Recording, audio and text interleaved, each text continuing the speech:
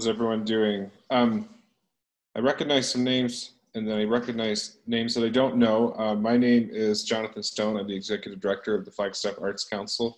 Uh, Chris Casola is um, also on the call here. She's our grants um, person at the Arts Council. She um, keeps everybody um, in check and makes sure that things are done on time and um, people get their paperwork and all that jazz. So this is a re- overview of a new program that we have never offered before. Uh, and so thus the information session to try and explain um, the differences between its format as well as uh, the purpose that we're trying to achieve uh, with uh, the grant program. And so uh, I want to get to as many questions and be able to answer as many questions as possible. So, but before I do that, for because I don't recognize all the names, um, if everyone can just um, introduce themselves uh, for the benefit of the group as well. Um, and there's somebody who dialed in on the phone with the 602 number.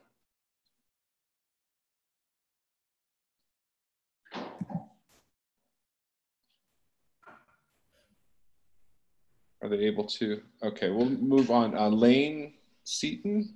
Mm-hmm. If you could just introduce yourself. Yep. Hi, everyone. Um, glad to be here. I am the Director of Corporate and Foundation Relations at Arizona Science Center in Phoenix.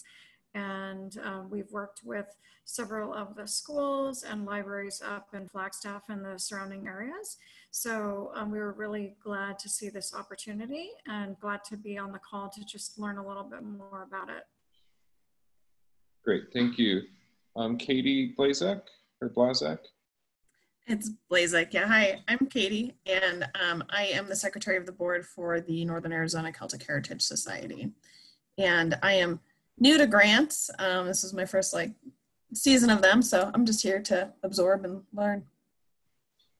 Great, thank you. Um, Chris? Uh, I'm Paul Moore. I'm the city's best architect. Oh, no, wait, sorry. I introduced myself. I, am Chris. I'm the executive director at Theatrikos. Okay, and then uh, Deanna or Dina? Hi, I'm Deanna. I am the Director of Operations for the Boys and Girls Club of Flagstaff. And I also sit on the board. I'm the treasurer for Threaded Together here in town. Great, thank you. Um, Eric R.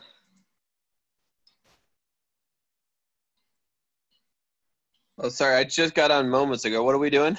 uh, introductions. Oh, okay. Um, yeah, I'm Eric Retterbush. Um, I'm a uh, alternative process photographer in town. Um, I do tintype photography and um, yeah. Great, thank you. Um, James J. Hello, my name is James J. I was uh, with the Northern Arizona Book Festival for a long time, and actually, the proposal I'm thinking of, um, I might want to get with uh, Katie to talk about a little bit more because I think it might have to do uh, more along the lines with the Northern Arizona uh, Celtic Heritage Society as well. So. Cool. Um, and your names keep bouncing around on my list, so I'm trying to catch all of you. Sarah Haas. Hi, uh, my name is Sarah Haas. I'm a movement artist and I also build tiny mobile houses that transform into stages. So I'm um, particularly interested in how uh, to bring performance art to people. Just in general, I have been. So, yeah. Great, thank you. Um, let's see here. Jody Laura. Hi, I'm Jody Laura, and I'm here representing Master Chorale as their business manager and Flagstaff Community Band as the chair of the board. And Lane Seaton, did I, I don't know if I think I got you. Yep, you did. Um, Lindsay, do you, sorry, uh, Lindsay, do you, Wow, I'm having a hard time, Lindsay. You're muted.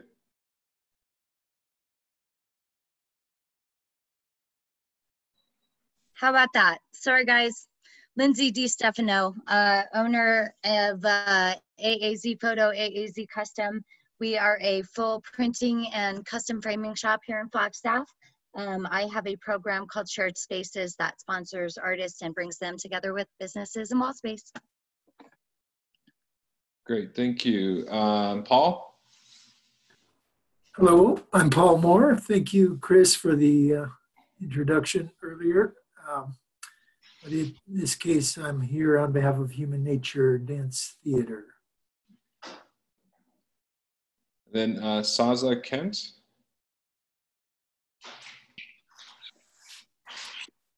Hi, I'm Saza. I'm the um, co-founder and artistic director of Epic Dance Company. We're actually based in Phoenix. Um, so I'm not sure if this, are we allowed to apply for this? Can you tell me that? Depends on what you have in mind and who your collaborators are and, Okay. um, you know, if it meets the uh, intent of the program in terms of uh, enhancing the Flagstaff um, creative sector. Great. Um, so uh, we are a we combine street dance and uh, and concert dance with hip hop theater to tell stories and spread a message. And we do a lot of work in schools with school residencies and things like of that nature. And that's kind of the direction I was thinking of going with this if it applies. So that's why I'm here is to find out if my idea works. Sure. And then Susan Walter. You're muted. Hey guys, I'm Susan Walter, GM down at the Orpheum Theater. Thanks for having us. Great. Um, so I- this is probably about all we'll be expecting. I do know there's some other people that are interested in the program as well, and I've heard some ideas being bounced around on the fringe um, in terms of offhand conversations. So hopefully we'll be able to get this uh, recording out, uh, and so people can learn more about the program. And then, in the spirit of collaboration, I hope that all of you can certainly, um, you know, share uh, the information of this program because. Um, especially because of our process. Uh, since it isn't a heavy lift on the initial application, uh, we really want um, to hear as many ideas as possible. Then what we'll do is I'll describe the process, but we'll invite um, people to apply with a more detailed application. So um, this is this is really designed to be um, you know vetting of, of ideas, initial vetting of ideas, and then um, hopefully whittle that down to a few select projects that are selected uh, to be funded. So um, the, as you can get by the name, I'm having a hard time talking today, I'm sorry.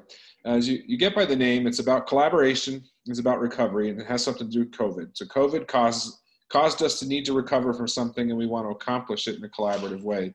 Um, and the Arts Council values collaboration in general, uh, but we feel that we'll get sort of more mileage out of um, the the dollar investment as well as um, we believe that collaboration is a great way to strengthen um, and, and create sort of resilient um, relationships uh, that I think will, will pay dividends um, even not in um, a, a recovery time period but in, in general so what what better time to try it than uh, during um, a recovery so um, we'll talk about the grant itself. So what is it and who can apply?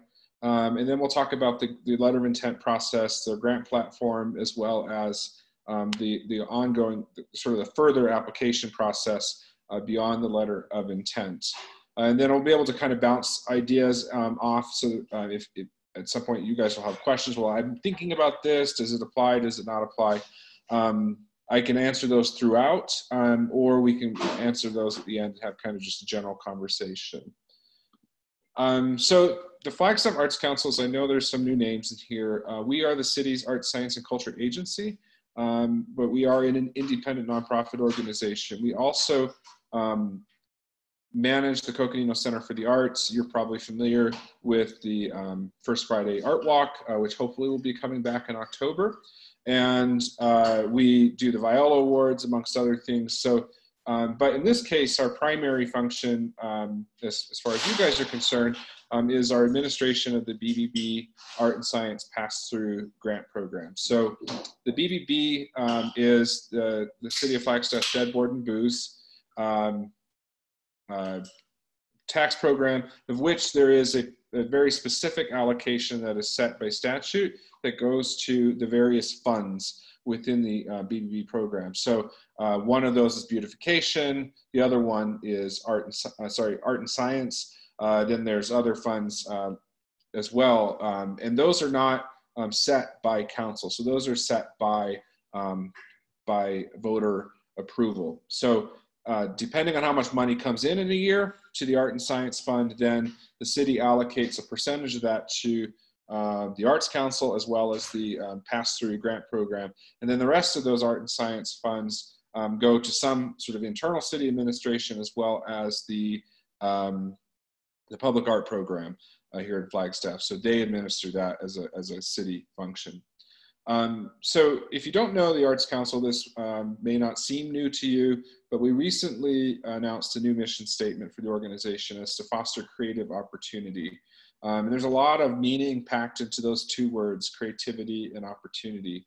Um, and one of those is sort of the intentional step back from the word art in that mission statement.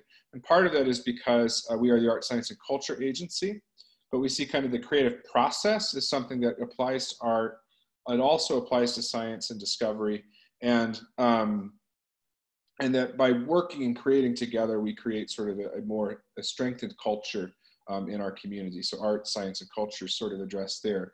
The idea of opportunity is really around um, does uh, just does our creative community itself have opportunity in Flagstaff? So is Flagstaff supportive of of the arts, of creative professionals, and then opportunity is goes the reverse direction. Do the people of Flagstaff or the visitors of Flagstaff have access to, and are they enriched by um, the work of the creative sector. So, like I said, a lot packed into two words, uh, and but that's what's driving our new mission as an organization. Um, so our vision uh, is similar to what it was before, um, but we added a couple words to it. Um, so uh, Flagstaff is a vibrant creative community at the intersection of art and science. Um, so we're positioning Flagstaff as kind of this this um, unique place where we value art and science. We're a STEM city. Um, we want to see kind of those more uh, creative collisions between um, our science community and arts community. And so that's where the vision came from uh, for, for, that. All of this is the result of many, many months of outreach and um, surveys and roundtables. And uh, we believe that this uh, encapsulates a lot of that feedback that we've received from the community and will help us uh, be better um, leaders and catalysts uh, to support the work that you guys do. Uh, the Art and Science Fund itself has some very specific goals. Um, so in, some of this is kind of set by, um, you know, sort of government money, right? Um, you have to accomplish certain things when you're using tax-funded resources. Um, but we want to enhance the quality of life uh, for Flagstaff residents uh, to provide financial support through the distribution of city funds to nonprofit organizations. Uh, we want to assist organizations in developing excellence in nonprofit organizational management. Some of this applies to like the GOS and other project programs, um, but it still should kind of flow through uh, this program as well. Uh, we want to stimulate public and private support for and a sense of community among our nonprofit organizations. Uh, we want to increase opportunities uh, for community-based experiences and then to support the development of new and emerging um, uh, organizations dedicated to um, artistic, scientific, and cultural achievement. Um, so the Arts Council, uh, like I said, we announced our new mission statement at the Viola Awards uh, this year, which if we had held that event just a week later, would have been canceled. Um, so nevertheless, um, a lot of our work has been focused on um, uh, two things. One is how do we keep, keep the Arts Council alive? Um, all of us as nonprofits uh, and or you know anybody really um, has been been fighting, fighting real hard uh, to keep um, to keep their organizations and livelihoods and everything um, sustained. And that's the true for us as an organization as well. Uh, and but at the same time, how can we split our attention to focus on supporting our creative sector through that? Um, and so what, some of the things that we did were we made existing fiscal year 20 project grants um, unrestricted or we provided extensions depending on the organization's circumstance. Uh, so uh, people did not really have to prove to us that they accomplished everything they said they were going to accomplish, uh, because that, that would have been an unfortunate thing for us to go start yanking money back from people because they couldn't fulfill their obligation. And that's not really in the spirit of, of how do we, you know, strengthen ourselves together uh, and sort of batten down the hatches and come and come through uh, to the other side. Um, the we fundraised uh, twenty thousand uh, dollars. So I believe this is the first time, and Paul, you can correct me if I'm wrong, uh, that we've actually uh, fundraised for the Art and Science Fund. Um, so twenty thousand dollars isn't a lot, but we were able to secure another eighty-seven thousand dollars um, from the city's BBB program. So basically, what they did is they reallocated um, some money from uh, future or uh, low priority capital uh, public art projects is how I understand that happens. So they're like, we have this thing we're holding money for. Do we really need to hold money for it? Um, so can we just kind of repurpose its use in the art and science fund? So still within the art and science funds um, purpose, uh, but something that can be a little bit more um, catalytic and supportive of our nonprofits at this time. Uh, so we awarded $87,000 to 23 nonprofits over, over April and June. Um, and then we had $20,000 left over. And so what we did was we set that aside for this grant program. Then we awarded $340,000 uh, through the Art and Science Fund allocations to our GOS regular, regular GOS and project programs. Um, and there we set aside $20,000 from the 360 knowing that we were anticipating doing this project. So essentially, rather than awarding $55,000 in project grant programs, um, that we awarded 35,000 um, because when we initially did the call for projects, uh, we hadn't um, put together sort of specific criteria or kind of really fully understood how we can maybe use those resources in um, uh, ways that uh, you know are specifically targeted at, at COVID response. So we had grants focused on nonprofits, specifically for the nonprofit to weather the storm. And then we have project grants, which are designed to accomplish a specific task or outcome. And so by merging those together, uh, we created this grant program. And so in addition to that, we're trying to stay on top of our communications and resources. Um, uh, at the beginning, nobody really knew what was going on, so we were trying to be kind of a, a resource for that. It seems like a lot of our organizations have finally started to kind of understand what's happening uh, in the community and, and getting a better grasp on what reopening looks like. And um, so uh, we're happy to kind of be a resource up front um, and, and, to continue to be a resource. Um, but I feel, I feel like um, everybody is, uh, I hate to, a new normal is not the right word, but um, that we're starting to understand uh, you know the situation that's in front of us because we've been living it for six months. Um, so we released a marketing RFP today, um, and I'm only sharing that with you because we we believe that that marketing uh, project is going to be um, important for the the future. Like, so how do we kind of put fuel behind awareness of the creative sector in Flagstaff? Um, this this scope, uh, which is and initially it's a forty thousand dollar scope um, from a different funding source, so it's not from from the grant pool, but uh, that we uh, want to kind of start energizing um, the sector as a brand itself. And so that's what that um, RFP is about. And if you're interested in learning more about that, it's on our website under the news section.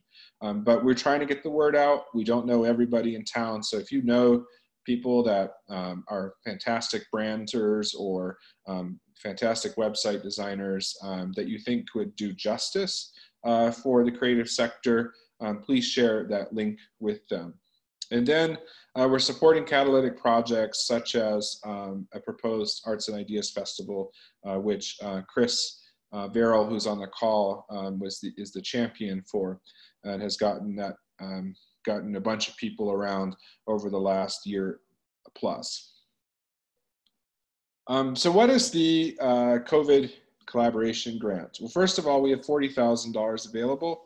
The funding period begins December 1st uh, and goes to November 30th, although, you know, that's just, the end date's just kind of a flexible thing, um, but we pegged a year for it. Um, and then, you know, because we want, want projects to happen uh, and, um, and happen as quickly as possible or, or so that they can start to have um, support for the sector or, or to, to pay um, to be catalytic uh, for the sector as it starts to recover. Um, so the grant provides flexible funds to support a project that addresses common needs or opportunities presented by the coronavirus pandemic and economic recession. I'll explain that in a little bit. Um, we may award projects, so we're, we're pegging the award value between five and ten thousand dollars, and we're not requiring a cash match. Um, however, eight times ten is eighty thousand. That's more than than what we have available. Uh, but uh, so we're thinking grants in the range of five to ten thousand dollars. Um, might be less, might be more, but that seems like a sweet spot for us right now to be able to, um, you know, provide a, a fairly substantive uh, project grant. Um, we could go higher for the right project, um, but those are kind of one-on-one um, things where you may want to talk to staff before you submit the letter of support if you're thinking about something like that. Um, so all projects will receive some level of technical support from the Flagstaff Arts Council. So we're also looking to see how the Arts Council can help the project uh, and provide in-kind value for the project to some extent. It, it could be any number of things. One, it could be marketing support. Um, it could be um, grant writing support. So saying, hey, um, we want to do this, but we don't quite know how to go about funding it. Um, you know, maybe we can provide um, guidance and support in that direction. In the past, I mean, for our projects, we're usually just like, wonderful idea. You proved that you have the, the capability to do the project completely based upon the team that's presented. Um, and, and then we check in on occasion. This time around, because it matters so much to the creative sector, we want to be able to step in and help where we have the capacity to and where it makes sense. Um, but nevertheless, hopefully the project team or the, the collaborators have a decent amount of the skill and the um, to, to pull it off. And that that'll come into the evaluation of that. But if there's something the Arts Council can do um, to help a project be that much more successful, we want to know what that skill you might be looking for is um, on the letter of intent. Uh, so the grant review committee is the same grant review committee that reviewed uh, the GOS and project grants for this last cycle. And so they um, have recommitted to following through. This is novel for them too. They're usually uh, done in June, and they're like, "Wow, thank God that's over." And then hope, and then uh, they may or may not volunteer uh, for the next cycle. But all of them, with the exception of one, have agreed to return to help with this grant cycle because they believe in they believe in it. okay, so projects must include at least one project partner. This is new. We've never, as that I'm aware of, have required you to have partnerships. In some ways, um, partnerships have always been kind of in, in view of the GOS or project programs because, you know, the reviewers ask themselves, would a partner be benefited? Would this project be benefited by a partner and they didn't identify a partner? Um, or are they presenting partners that are ultimately strengthening the project? Um, but it wasn't a requirement. Now we're actually requiring that because we want to see through this grant program that more than one organization is, is enhanced or more than, or a, a sort of, a, a, a, what's the word I'm looking for? Like a, a cross section of the sector um, is enhanced uh, or the, that, that cross section of the sector is able to do more for the community um, through the pandemic or, or as, as, a, as a process of recovering from the pandemic. Uh, so partnerships or collaborations demonstrate that there is interest in this project, in, in whatever the proposed project is, rather than just single organization coming forward and saying, we think this is a good idea. Um, that said, on the letters of intent, we're not requiring that um, projects need to identify um, secured or like committed partners. It could be like we're talking, we're we we we've begun to share ideas, and we we both believe this is interesting. Uh, but at the letter of intent phase, you don't have to say so and so is committing X Y Z um, is going to do this amount of lift, uh, and they're bound to that. Letter of intent really is just what do you think? Are we headed in the right direction? So successful projects uh, can include art making as well as practical capacity building initiatives. Um, so, um, and, and I don't have any real good examples uh, to share with you about what the distinction might be, uh, but um, a massive collaboration, and it doesn't have to be massive, but like a collaboration of multiple artists and multiple organizations that are doing something to build awareness for a given sector, I think could qualify for this project. Or it could be a specific capacity building initiative that, um, that helps that section of people um, do something either independently or together. Um, and then with all of our projects, we do require that it somehow serves the arts, culture or cultural equity, um, and uh, the production or presentation or teaching of science programming to the public. Um, so that has to be a part of whatever project that is presented. So this, these are just ideas to start with, and they're not specific ideas in terms of like projects that you could do, but we're starting to think, but when you want to think kind of systemically, uh, what is going to result in change or support? And or what are the things that we're trying to change? So arts workforce, for example. Um, many artists in town are out of work either because their art form is not um, able to be monetized um, or uh, they are out of work because their secondary jobs or their other jobs are service related jobs or, or, or they've been you know cut because of, of the recession or pandemic. Um, so arts workforce can be addressed in a couple of different ways, right? Um, you can't find work outside of art or your work artwork itself is not as lucrative or um, uh, sustainable as it was before because of the pandemic. So is there a solution that supports the artists themselves?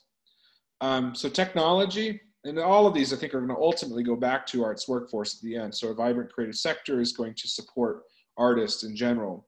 Um, technology, so can we connect COVID isolated individuals to cultural programming? And that's with the understanding that um, it's going to take some time for, uh, for the sector to recover and for confidence to recover.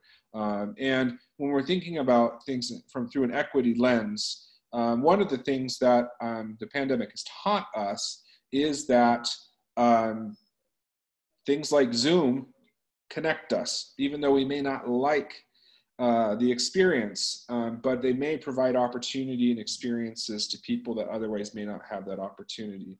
So, can technology solve that? And can technology perpetuate that kind of accessibility or innovation um, even when the pandemic is no longer impacting us. Um, in, in equipment, uh, so are there shared things that we could use that support physical distancing or that uh, make it easier as uh, facilities uh, reopen or performing groups or what have you start um, coming together again that can um, facilitate safe uh, attendance? Uh, marketplace. Um, so, are there new opportunities uh, for artists uh, or creative professionals to sell their work, um, or is there are there ways that we can help retailers adapt?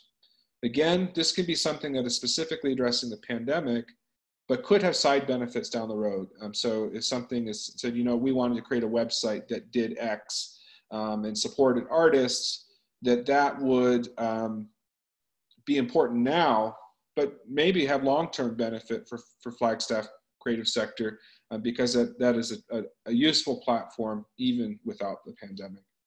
Um, so economic uncertainty, uh, that is obviously the sector itself has economic uncertainty, uh, but is there, um, are we gonna, as we reemerge from the pandemic, are people gonna be less able to pay, uh, to participate or to um, access or um, be patrons of the arts. And um, so that accessibility question could address um, that, like the, the loss of revenue or like, hey, we still, we, we know that there's a group of people that usually participate in our programs but can't. How are we gonna help them keep in touch um, as well as um, supporting kind of the, the, the economic change that's associated uh, with, with that uncertainty. Uh, so those are just kind of ways that we can think about systems and uh, there's not an exhaustive list. And so I'm happy to talk about um, other examples, uh, but those were kind of the initial examples that kind of helped us think through that this may be a worthwhile program uh, to put money behind. Any questions about the focus areas? Example focus areas, I guess.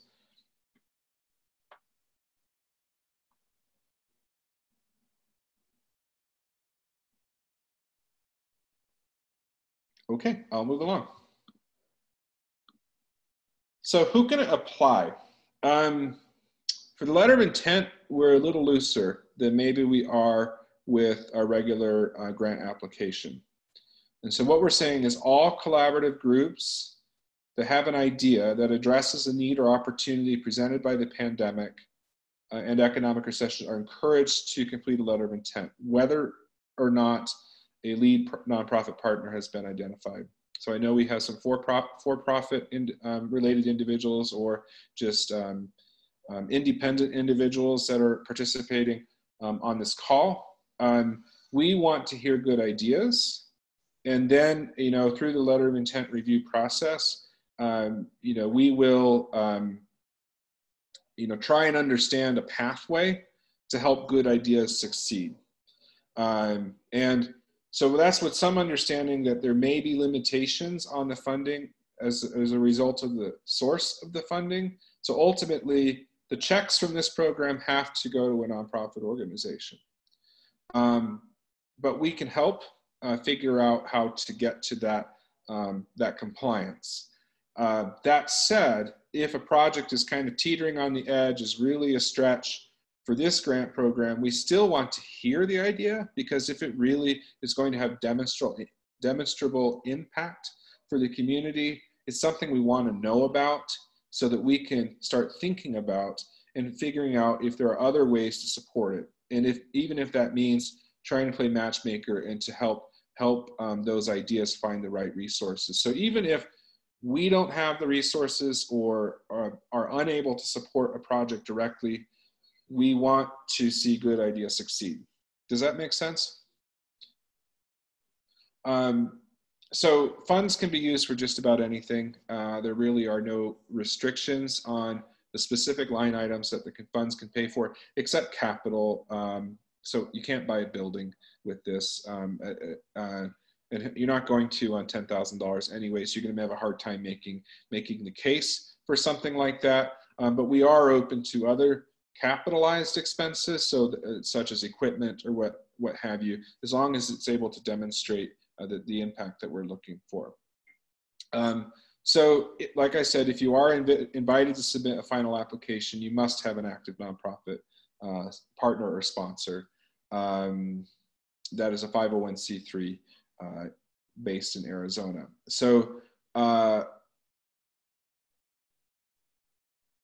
yeah, so if the school, uh, sorry, this the dance group this, um, on this call, um, you would need to find a local um, partner uh, to support uh, this project. But it's not necessarily, doesn't have to be um, in writing and um, completed prior to submitting a letter of intent. Uh, so how to apply uh, Submittable is a pretty straightforward platform. most of you have gone through this in the last um, six months with us. Uh, and we've gotten really positive feedback on that platform in terms of how much easier it is to um, navigate and understand. Um, we've obviously also identified opportunities for, for improvement with the platform. Uh, so hopefully this time around we'll be able to make it even easier uh, to understand. Um, we will use the submittable platform for all communications after something is submitted. Uh, and I know that uh, some people the last time around had um, some issues with that going into their spam or what have you. Once you submit an application, make sure that um, the submittable platform, uh, any emails coming from that uh, aren't going to your uh, spam filter. That way we have sort of a complete life cycle record of the application and any uh, coordination and, and, and response associated with that in one place. Um, so the, through the letter of intent process, uh, so we're looking for a broad set of ideas and partnership collaborations. Um, it can just be in the formative stage. However, um, if you are invited to apply, you're going to have a fairly quick turn uh, to get a full application in. So even though you may submit an idea in the formative stage on the due date for this, um, you should still be working with the people that you think you might want to work with uh, to continue to refine uh, that relationship uh, with them. Uh, because once we send the questions back and, and we give you the green light to apply, if you're invited to apply, uh, you're going to have to button up all those details uh, pretty quickly. And I'll show the timeline of that in a little bit. Um, so we're looking for a snapshot uh, and how it addresses the common needs or opportunities presented by the pandemic. Um, you will also state your funding request amount, but it, we're not looking for a detailed budget. So really what you're saying is, uh, we're asking for $10,000. We think the project might cost 15 or it might only cost 10. The reason we don't have a cash, ma cash match or, or other funding sources is this, but you can be super loose with that, um, but just provide some justification for the amount that you're looking for. Um, and like I said, you don't have to have a commitment on the um, fiscal agent at the time of the letter of intent. Uh, but if you do know who would it be, or if you are a 501c3, that's beneficial to know that.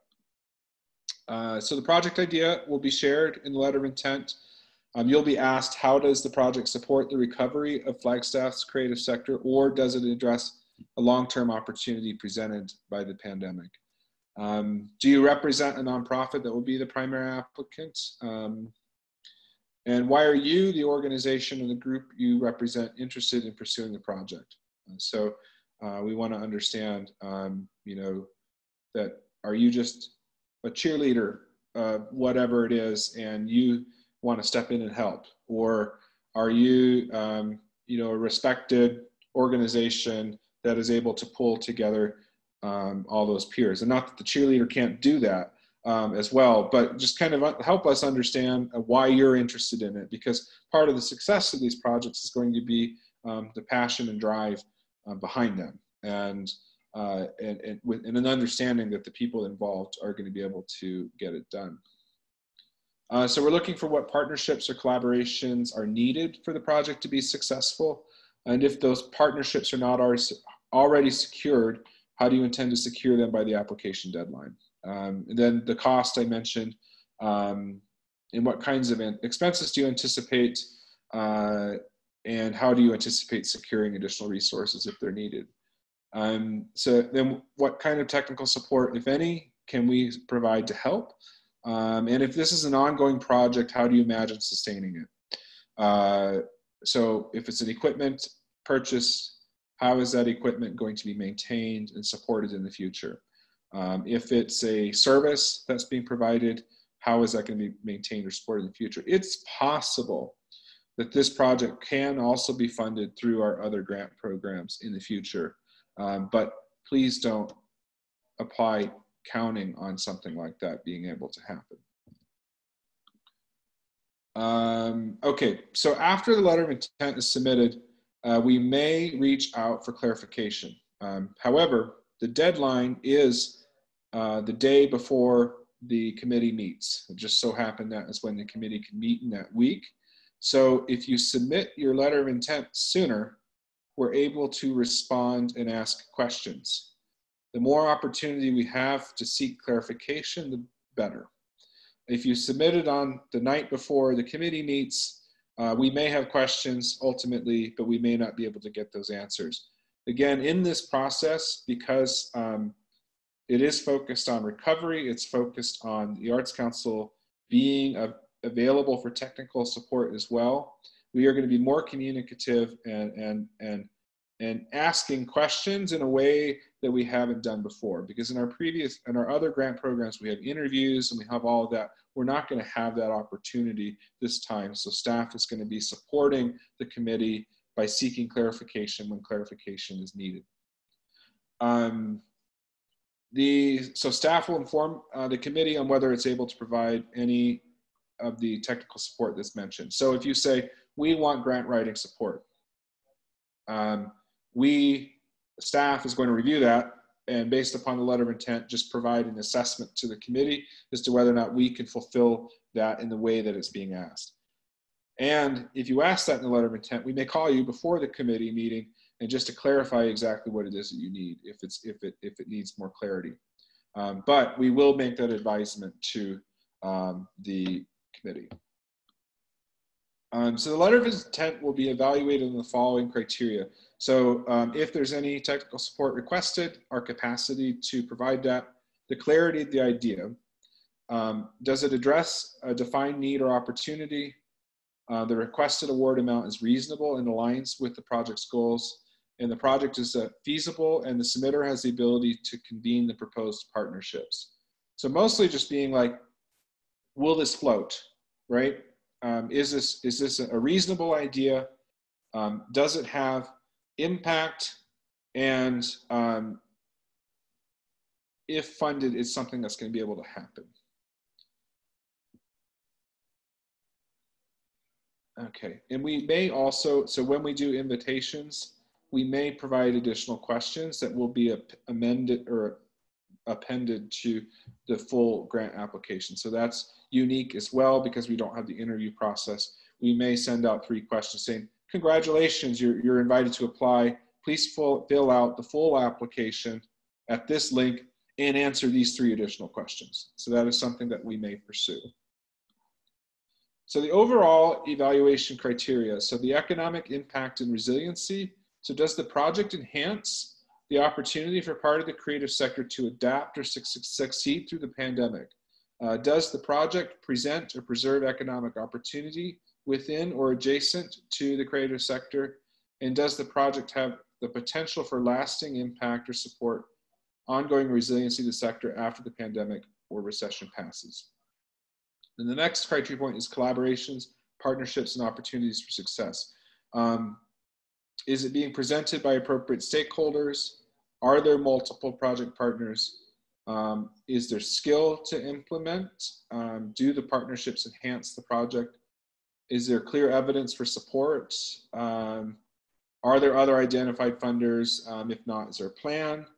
Uh, does the project leadership have a track record um, of executing similar project and uh, does the project have a clear and achievable plan and timeline? So opportunity for success, um, who's involved and are they the right people involved? Um, alignment, uh, so does it address the opportunity or need identified? Um, would this project happen without grant support or would the impact of the project be greatly diminished without grant support? Um, so this is really, alignment is a, is kind of code for need. Um, and uh, is this the best time to do it? So hopefully, because all these projects are going to be related to the pandemic, yes, it's probably going to be the best time to do whatever the project is. Um, but again, in your uh, writing, can you clarify need, time, and is this appropriate time to do it? Uh, and then are we able to support the project um, as, as requested? So public benefits requirements of tax-funded um, grant programs. So are we enhancing the quality of life in Flagstaff? Um, is, is it addressing needs of the community? And is the work um, in the application unique and important to the sector? And does it enhance cultural equity and preservation? So it doesn't have to do all those things, but still the project has to benefit the citizens of Flagstaff ultimately. Any questions about what I've gone over so far?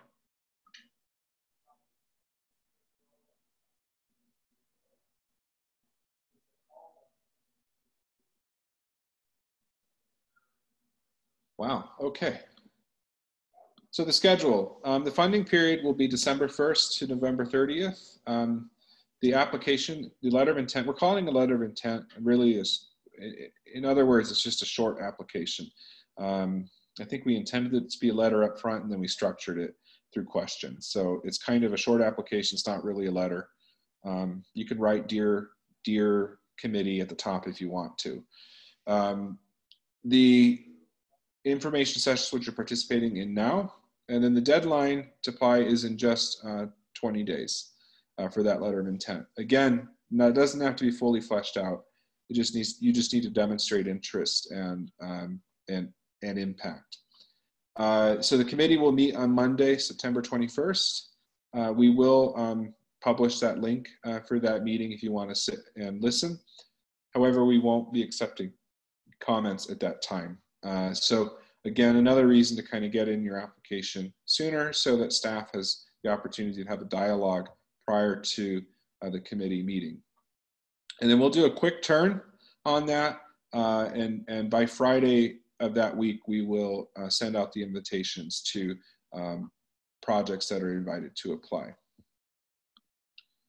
Um, so then ultimately the deadline for that application is going to be um, a little less than four weeks later on Sunday, October 18th.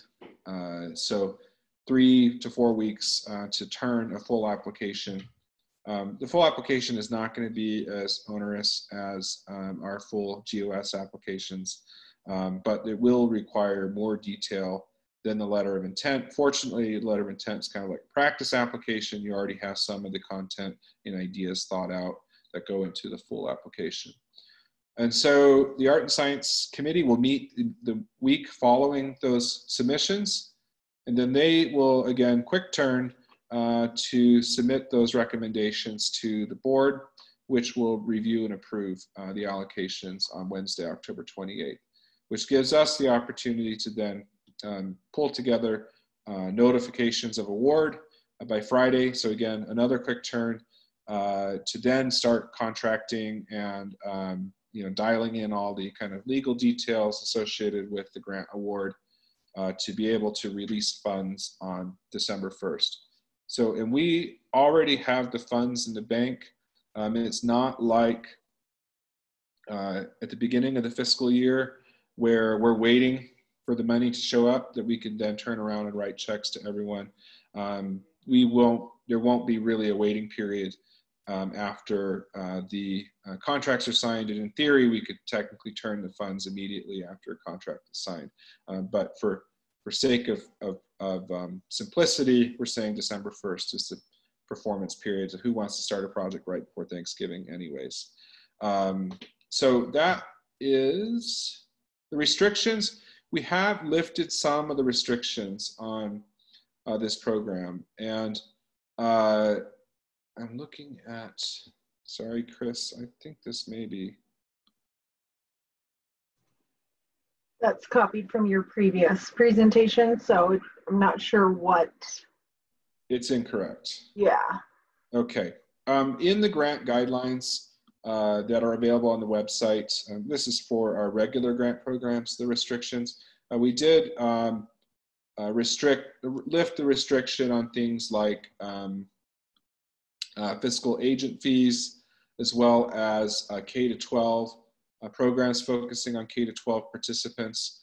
Um, and there's a couple other things that we kind of removed from the restrictions because we want, we're open to to enhancing sort of all aspects of the creative sector and helping that come out uh, for, for those things to improve and, and grow over the next year to two years. Um, so that's it. Are there any questions? And I can't believe we would go through an entire grant presentation of a novel grant program without a question. Paul. Oh, yeah, on. Uh, regarding the selection process, um, is there a thought or or do you have an idea of whether the letter of intent, the process of going through the letters of intent would narrow it down to the maximum eight recipients and that the final application is just determining the you know the final approvals or would there be more than eight possibly selected during the letter of intent and then expect the letter narrow of down from there? I expect the letter of intent will be more. Um, and I, I guess I should say also that um, I don't think we're necessarily restricting letters letters of intent to one, right? So if a group of people have more than one good idea, um, you know, we welcome more than one good idea. Um, we would probably only fund one of an idea from a similar group. Um, but the because uh, the ideas are probably still in the formative stages, I would imagine we would invite more than the eight uh, to apply. Um, but it's, it's, hard to say, you know, because what what what could happen is uh, if you invited eight to apply, and then ultimately um, that had a total of forty thousand dollars in asks, and we ultimately only decided to to fund six of them. You know, would we allocate additional funds to projects we thought could use more of it, or um, the committee? I mean, it's to weed out ideas that maybe aren't close to the mark, right? And then the final application process will refine it down. Um, but I don't anticipate us being like, we received 20 proposals in the letter of intent phase, and then we only cut it down, you know, to 18 or something. I imagine we'd cut it down more, but I, I can't really speak for the committee. Um, it's their, evaluation at the letter of intent stage is like, is this an idea worth continuing to consider funding, um, or is it one that we don't think will be viable? And when you say we, I'm not on the selection panel. Um, ultimately, that decision is made by that committee. Did that answer your question? It's hard to answer that specifically.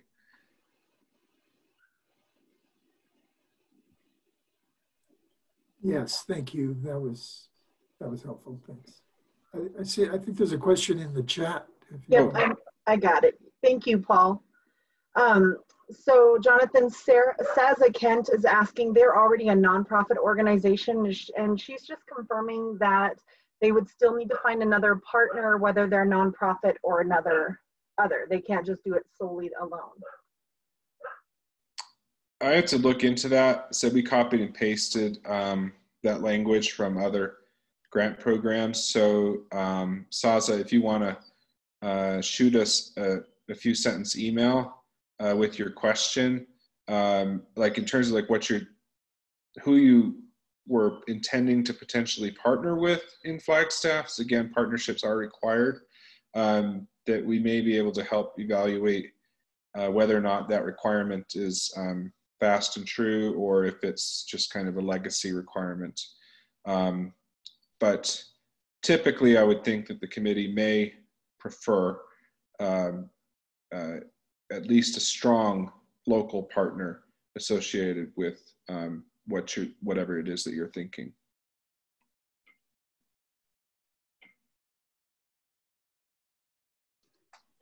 Um, she was just thinking about a partnering with a school district or another community organization.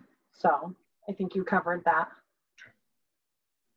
And Paul, I just wanted to pipe in really quick. I want to be clear right now, this is our first go about using this letter of an in intent survey or like process. And your goal is to spark that fire. You want to like ignite them with this idea. And it's giving you an opportunity to do that without having to fill a whole application out with the potential of not being funded or not clearly understood. It's really opening up that communication platform that we've not been able to do before. So when you're doing this letter of intent, think about that. Think about how can I spark their imagination? How can I get them excited about this project? This is where you can tap into that passion that we've always kind of, you know, kind of curved into quantifiable data. So use that letter of intent to your advantage. Yeah, and I would add to that, Chris, um, we did not set any character limits on the application. And um, I think that's what the understanding that you're going to be brief and you're going to put the energy where you think the energy needs to be put. But please imagine it as a letter. Um, and um, we don't want four page letters. Um, one to two page letters, in theory, is what we're going for here, um, if that makes sense. So everyone's kind of self policing on the length of their responses in each section, but um, please try and keep uh, the total content length to what you might imagine would be one or two pages.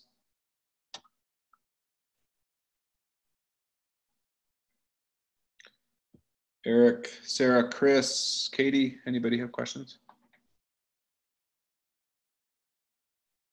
Anybody want to share the idea that they were, that inspired them to uh, come to this work session? Hi, well, this is Katie. Um, you know, I didn't really have an idea coming into it, but now that I've I've listened and I've, I've looked at your points, I could see a number of ideas that have come to mind. In particular, we've never been a great group that has um, done a lot of programs virtually, so it's always stuck very much so with our local community. And this year we're offering our Highland Tea with Diana Gabaldon virtually, and the reception that we've gotten from that has been fantastic. And it's something that we would probably continue in the future. So I could see using a fund like this to help purchase Zoom webinar accounts, which are very expensive, in order to host events in the future. So, and, and just encourage you if you're thinking of something along those lines, like how that um, other people have access to that beyond a single organization. Exactly. So yeah, so you know, it definitely sparked a lot of ideas just listening to this. So thank you. So uh, Susan asked how for-profit businesses uh, could benefit from this. So in my mind, when I was writing this these guidelines, I was thinking about kind of the different sectors or different sub parts of our sector. Um, one example would be like uh, galleries, right? We have a mix of for-profit and nonprofit galleries in town, um, none of whom really have, uh, in my mind, um, fairly sophist sophisticated um, online presences. Is there something that could be created that support them through the digital physical divide? Um, was just kind of one idea that popped into my head. Um, and then another one that came to mind for me, say, in, in your case for performing arts venues, performance venues, um, you know, uh, if there is shared equipment opportunities, um, you know, I know that you guys have invested in your um, live streaming capabilities. Are there ways that that could then be partnered uh, with other nonprofit organizations and even other for-profit organizations to kind of help them have access to that? Um, depending on the idea, we'll have to talk offline about how that is um, the, the path to compliance, essentially for the, being the nonprofit applicant, um, would need to be on, in, in charge. But the the point is is that if you as a venue identify an opportunity that would help your venue succeed through the pandemic, if you can say, wait a minute, several other venues have that similar need or opportunity um, that and if we could you know reduce expense or um, increase collaboration or whatever it is by doing the thing together right then that is something that we want want to hear about um, but that could be it doesn't have to be a combination of for profit and nonprofit necessarily. It could be we are, um, or it could be music producers, right? So, um, uh, how, you know, whether they're for profit or nonprofit, but let's just say there was a series of for profit venues in town that all saw this opportunity so that when the pandemic started to come, uh, the restrictions were started to lift, it would help you be more ready uh, to uh, receive customers again. I think we're open to that idea. Um, the question mark is how do we make sure we maintain compliance? And part of what we said in the grant guidelines is it serves a nonprofit purpose.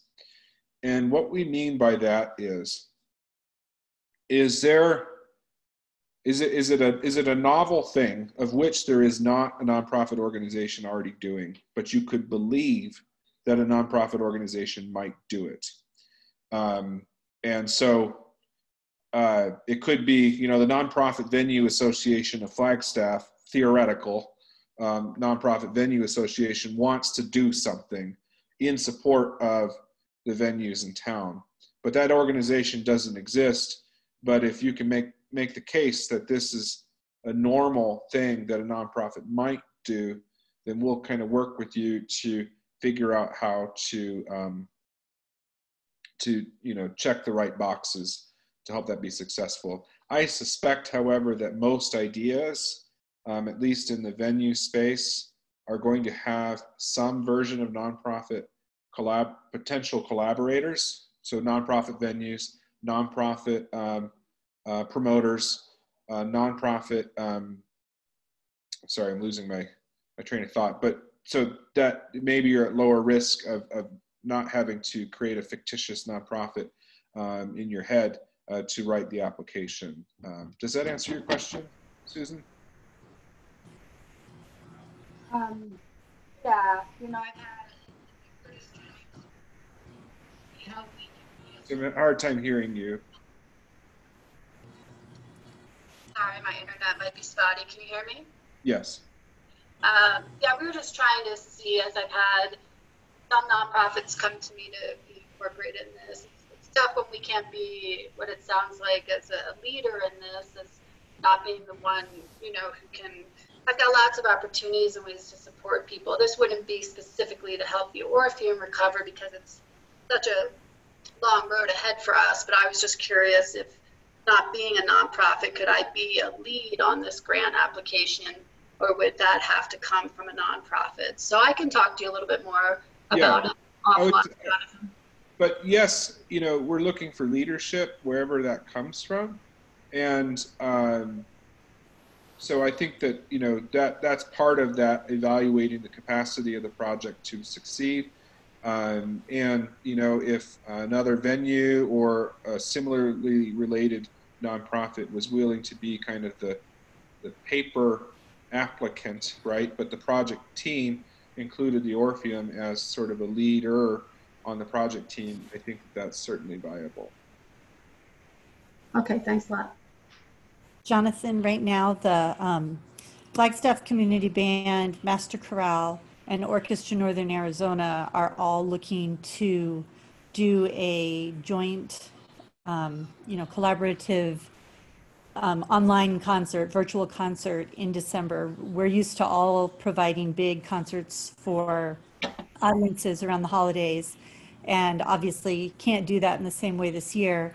So we thought that if we did them, if we did something all together with some things taped ahead of time and a couple of things live, um, based in the Orpheum, um, and that would not only give our members something to do, give our audiences something to do, but also help build our audiences because it would be bringing these three groups together and the audience bases from each of them would see other groups. Um, and then hopefully, you know, in the future when we can be back to in person, go and seek out these other groups. And the community bands, one that we do every year, also is a um, food drive for the Flagstaff Family Food Center in town. And so we would also want to collaborate with them and still do some sort of a virtual food drive through it. So it would be Flagstaff Community Band, Orpheum, Master Chorale, um, Orchestra, uh, Orchestra Northern Arizona, and the Food Bank all together. Um, so this, is this clarifying the idea that Susan was alluding to, or is this in addition to? Well, I, she probably, uh, she's been in on um, a meeting with us about this, so that's why I think she probably has some other stuff also, but would that be one way that she can be involved with the Orpheum with that? I mean, certainly, I think she can be involved with that. Um, you know, the I'll be curious to see how um, the presentation of art works out um, in terms of this program. Um, and what we'd be looking for in the letter of intent is um, that this concert uh, performance idea has some kind of important um, catalytic impact. Um, and, and, and it could be enough that this is a, a collaboration that's going to have a fair amount of visibility um, where all of these groups collectively or independently could not get this vis- visibility um, for the last nine months, um, and it'll help them slingshot beyond. Um, I think that there's a case for that in terms of having collaborative uh, and you know some kind of outcome uh, that that is impactful. Um, so I think there's a case, uh, but it's it's certainly not like we're we're learning this skill. The skill is going to help us do something uh, differently in the future, or maybe you can make that case as well. Um, but yeah, we're looking for, um, and it, it- maybe that enhances it. You know, I can't really speak for the committee, based on what all that's going to be in front of them. But the um, the concert itself has um, marketing impact. The the fact of doing it uh, in in the in the format you're describing, and and maybe the new collaborations will result in um, sort of longer term enhancement. Those are things that we'll be looking to understand. So Jonathan, I, I have a question for you regarding Jody's um, her project idea, and I guess I want to be clear for myself as well. If these other organizations were already funded for general operating support and they would still do that said event even without this collaboration you know, Grant, like how, where do we stop the overlap of already funded GOS? Maybe they changed it to virtual instead of in person, but it still was funded under GOS. I'm not quite sure, and I think maybe that might be a conversation for later. But I just want to make sure we're all on the same page.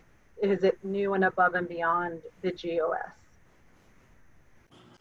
For Um, all three of these groups, um, the per- all three of the performing groups, this would be something different than what we already had planned.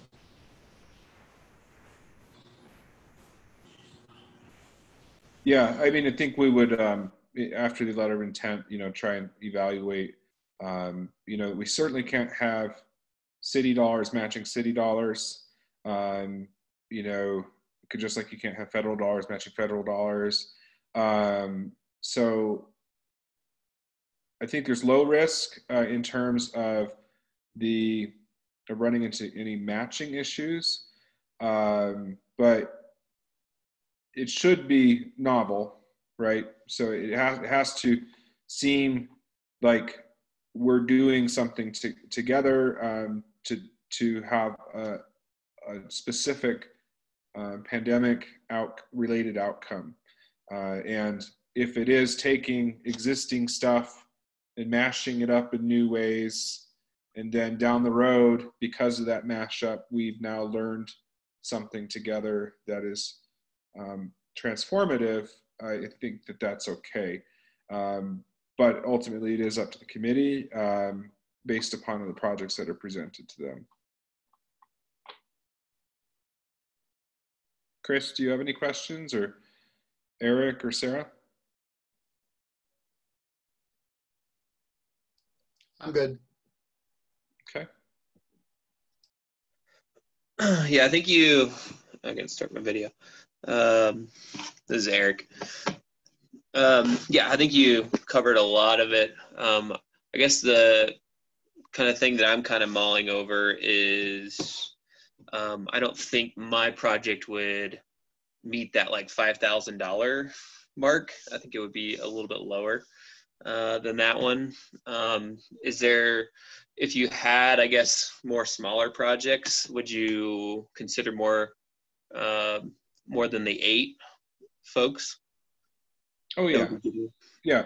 No, I just um, what we're trying to do is is to be efficient with our resources. Uh, but if we had a series of tens and a series of threes, that's okay too. Uh, but we just um, you know wanted to know if people were thinking in that direction, um, so we could in, just anticipate what's going on. Um, but you know, uh, I appreciate your frugality as well um, with being able to accomplish whatever project it is for 3000 um, but one of the things i'd ask yourself is would 5000 make it better um, and have more impact? Um, you know so keep that in mind. And maybe in your letter of intent when you talk about budget you can say you know i really only think we need three but if we got five we could do this um, or something like that. Okay. Yeah, and there's probably um because I I think the the big cost upfront cost is my equipment, and I actually have already purchased that um, as far as my my camera equipment um, just recently actually. Um, so there there probably isn't a way of retroactively going back, especially as an indiv- individual. Yeah, unfortunately, we can't um, pay for past expenses. Um, ha- any costs would need to be incurred after December 1st. Very very uh, understandable.